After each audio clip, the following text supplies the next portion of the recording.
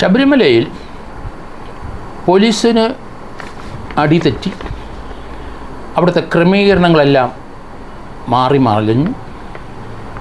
അവിടെ സന്നിധാനത്തും നിലയ്ക്കലും പമ്പയിലുമെല്ലാം ട്രാഫിക് ബ്ലോക്കായി. അവിടെ നിന്ന് ജനങ്ങൾക്ക് അയ്യ- അയ്യപ്പനെ കാണാൻ അസൗകര്യമുണ്ടായി. അങ്ങോട്ട് ഒരു ദിവസം മുഴുവൻ നിൽക്കേണ്ടി വന്നവരുണ്ട്. ആ പതിനെട്ടാം പടി പോലും ദർശിക്കാൻ കഴിയാതെ പലരും മടങ്ങിപ്പോയി. ഈ ഒരു വർഷത്തെ നോയമ്പിന്റെ പുറത്തും അല്ലെങ്കിൽ ശബരി ശബരിമലയ്ക്ക് പോകാനുള്ള ദൃഢനിശ്ചയം ചെയ്ത് വ്രതങ്ങൾ നോക്കി വരുന്ന ജനവിഭാഗങ്ങൾ കേരള സംസ്ഥാനത്ത് മാത്രമല്ല തമിഴ്നാട് കർണാടക അതുപോലെ ആന്ധ്ര അവിടെ നിന്നെല്ലാം ആൾക്കാർ വന്നു തുടങ്ങി. സന്നിധാനത്തിലെ തിരക്ക് അനിയന്ത്രമായി അവിടെ പോലീസിന്റെ മഹത്തായ പ്രവർത്തനം കൊണ്ടാണ് ഇത്രയും നാളും വലിയ പ്രശ്നങ്ങളുണ്ടാകാതെ സന്നിധാനത്തിലേക്ക് ആളെ കയറ്റുന്നതും അയ്യപ്പനെ തൊഴുത് കൺകുളർക്കെ കണ്ട് അവർക്ക് മടങ്ങാനും സാധിച്ചത്.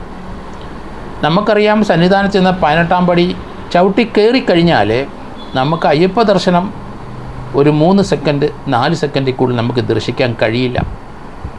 അത്ര തിരക്കാണ്. ഞാനൊക്കെ സബ് ഇൻസ്പെക്ടർ ആയിരിക്കുമ്പോൾ അവിടെ ഡ്യൂട്ടി ചെയ്തിട്ടുണ്ട്. അന്നത്തേന്റെ എത്രയോ ഇരട്ടി ആൾക്കാരാണ് ഇപ്പോൾ അവിടെ വരുന്നത്.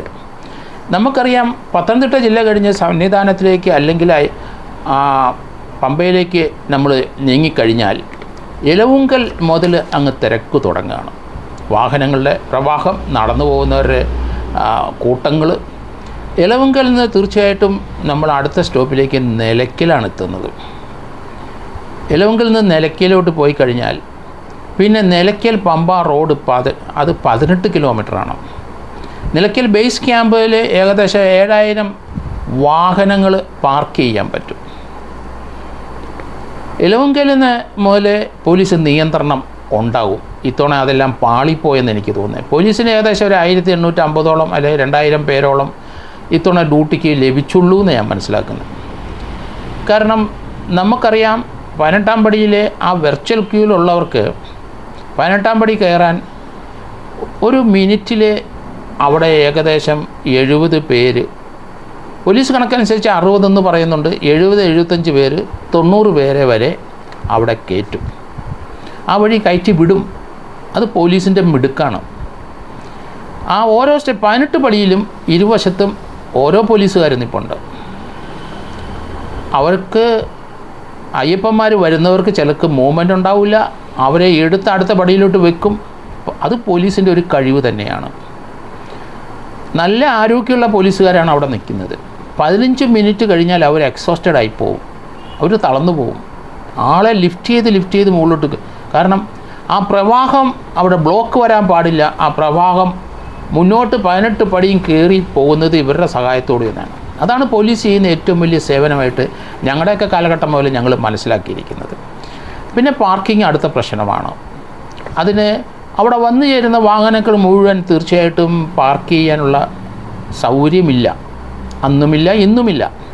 ഓരോ പ്രാവശ്യം എക്സ്പാൻഷനൊക്കെ ധാരാളം വരുന്നുണ്ടെങ്കിലും അതിനുള്ള സൗകര്യങ്ങളില്ല വരുന്ന കുറേ അധികം വാഹനങ്ങൾ അവർ പമ്പയിലും നിലയ്ക്കലും ഒക്കെ അവർ ആളെ ഇറക്കിയിട്ട് മടക്കി വിടും. അപ്പോൾ അതിന് ഫോറസ്റ്റ് ഏരിയയിൽ കുറേ പാർക്കിംഗ് ഗ്രൗണ്ടുകൾ അനുവദിച്ചിട്ടുണ്ട്. പക്ഷേ വീണ്ടും ഫോറസ്റ്റ് അതിന് എതിർപ്പ് നിൽക്കുന്നു. അത് നമുക്കങ്ങനെ കൊടുക്കാൻ കഴിയില്ല. ധാരാളം വന്യമൃഗങ്ങൾ ഈ റോഡ് ക്രോസ് ചെയ്ത് അങ്ങോട്ടും ഇങ്ങോട്ടും പകലും രാത്രിയും സഞ്ചരിക്കുന്ന എന്ന് നമുക്ക് കാണാം. അയ്യപ്പന്മാർക്കെല്ലാം അത് കാണാം.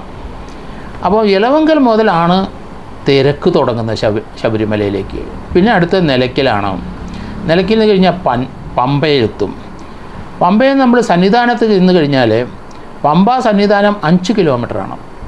ശ്രീകൃഷ്ണ സ്വാമി ക്ഷേത്രത്തിന്റെ അവിടുന്ന് താഴേന്ന് നമ്മൾ സ്റ്റെപ്പ് മുകളിലോട്ട് കയറുന്നത് ഏകദേശം അഞ്ച് കിലോമീറ്റർ ചെന്നെങ്കിലേ നമുക്ക് സന്നിധാനത്ത് എത്താൻ പറ്റുള്ളൂ. അതുപോലെ വേറെ റൂട്ടിൽ കൂടെ വരുന്നുണ്ട്. പതിനെട്ടാം പടി കയറണമെന്നുണ്ടെങ്കിൽ മറ്റ് ചില വഴിയിൽ കൂടെ ആൾക്കാർ വരുന്നത്. കൊമുളി ഇടുക്കി ജില്ലയിലെ കൊമുളി അഴുത വഴിയും കാനനപ്പാത വഴി വരുന്നവരുണ്ട്. പരമ്പരാഗതമായ പാ പാത നീലിമല അപ്പാച്ചിമേട് മരക്കൂട്ടം വഴി ശരംകുത്തി വഴി സന്നിധാനത്തെത്തും.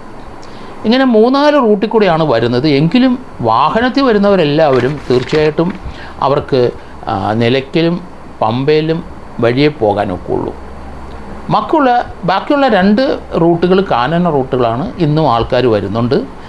അത് അത് കൃത്യമായി അവർക്ക് ആ ഭാഗങ്ങളിലൊക്കെ കാനന വഴി വരുന്നവർക്ക് മറ്റുള്ളവരുടെ സൗകര്യങ്ങൾ ചെയ്തു കൊടുക്കാൻ ബുദ്ധിമുട്ടുണ്ട്. അതേസമയത്ത് നിലയ്ക്കലും പമ്പ വഴി സന്നിധാനത്ത് കയറുന്നവർക്ക് അവരുടെ ബേസ് ക്യാമ്പിലും പല സ്ഥലത്തും വെള്ളം കൊടുക്കുകയും ബിസ്ക്കറ്റ് കൊടുക്കുകയും ശുചിമുറികളൊക്കെ മൂന്നാൽ സ്ഥലങ്ങളിലുണ്ട്. പക്ഷേ ഇത്തവണ താളം തെറ്റിപ്പോയത് സന്നിധാനത്തിലോട്ട് കയറുന്ന ആൾക്കാരുടെ തിരക്ക്.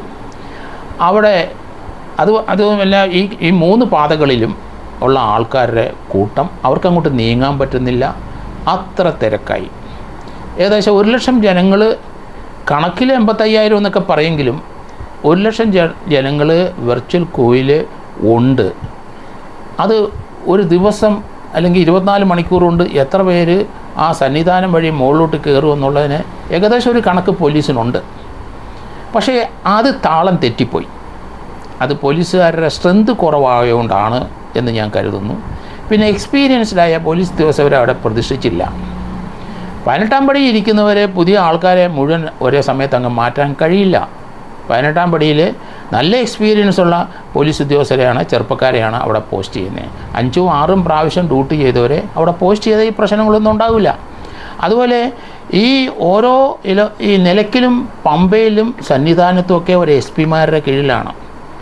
അവർക്ക് നല്ല പുതിയ ഐ പി എസ് കിട്ടി ഒക്കെ വന്നവർക്കൊന്നും അവിടെ ഒന്നും കൺട്രോൾ ചെയ്യാൻ കഴിയില്ല. അവിടെ നിരന്തരമായി അവിടുത്തെ ഓഫീസേഴ്സ് സന്നിധാനത്ത് ഡ്യൂട്ടി ചെയ്ത് തഴക്കവും പഴക്കവും ഉള്ളവരാണ്. അവർക്കറിയാം എങ്ങനെയാണ് ക്രൗഡിനെ കൺട്രോൾ ചെയ്യുന്നത്. അപ്പോൾ അതുകൊണ്ട് അവിടെ കഴിവുള്ളിടത്ത് ഇതൊക്കെ നമ്മുടെ പ്ലാനിങ്ങിൽ ഉണ്ടാകണം. ഡി ജി പിയുടെ അല്ലെങ്കിൽ ദേവസ്വം ബോർഡുമായിട്ട് ഉള്ള അലയൻസിൽ ഇതൊക്കെ ആ പ്ലാനിൽ ഉണ്ടാകും കാരണം എക്സ്പീരിയൻസ് ഉള്ള ഞാനൊക്കെ കോഴിക്കോട് കിടന്നപ്പോഴും അവിടുന്ന് ഡ്യൂട്ടിക്ക് വന്നിട്ടുണ്ട് സന്നിധാനത്തിൽ എസ് ഐ ഐക്കം മുതൽ ഡ്യൂട്ടി തുടങ്ങിയതാണ്. കാരണം അവിടുത്തെ തിരക്ക് നിയന്ത്രിക്കുന്നത് പോലീസിന്റെ കഴിവ് തന്നെയാണ്. അതിന് എന്തെങ്കിലും ഒരു സ്ലിപ്പ് വന്നാൽ ഇതുപോലുള്ള പ്രശ്നങ്ങൾ ഉണ്ടാവും ഉണ്ടായിക്കൊണ്ടിരിക്കും. അവിടെ ഈ തിക്കും തിരക്കും കൂടിക്കഴിഞ്ഞാൽ അത് നമുക്കറിയാം ആൾക്കാർ വീണുപോകും ആ വീഴ്ചയിൽ മരണങ്ങൾ സംഭവിക്കും വലിയ അപകടങ്ങളുണ്ടാവും.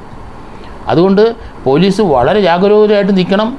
അതുപോലെ തന്നെ ദേവസ്വം ബോർഡും അത് തന്നെ. പുതിയ പരിഷ്കാരങ്ങളൊന്നും അവിടെ നടപ്പാക്കരുത്. ക്രൗഡ് കൺട്രോൾ ചെയ്യാനായിട്ട് ദേവസ്വം ബോർഡിന് കഴിയില്ല. ക്രൗഡ് കൺട്രോൾ ചെയ്യുന്നത് അവരുടെ ആൾക്കാരോ അവരുടെ സേനാംഗങ്ങളോ അല്ലെങ്കിൽ അവരുടെ കൺട്രോളിലുള്ള ആൾക്കാർക്ക് സാധിക്കില്ല. അത് പോലീസിന്റെ കയ്യിലിരിക്കുന്നതാണ്. പോലീസ് മാത്രമേ അത് ചെയ്യാൻ പാടുള്ളൂ. അത് എക്സ്പീരിയൻസ് ഉള്ള പോലീസ് ഉദ്യോഗസ്ഥന്മാർക്ക് മാത്രമേ ആ ക്രൗഡ് ശബരിമലയിലെ സന്നിധാനത്തിൽ ഉള്ള ക്രൗഡിനെ കൺട്രോൾ ചെയ്യാൻ ആ പോലീസ് ഉദ്യോഗസ്ഥർക്ക് കഴിയുള്ളൂ. അതുകൊണ്ട് ഇപ്പോൾ അവിടെ എക്സ്പീരിയൻസ് ഇല്ലാത്തവരാണ് അവിടെ വന്നിരിക്കുന്നതെങ്കിൽ തീർച്ചയായിട്ടും അവരെ എത്രയും പെട്ടെന്ന് മാറ്റണം.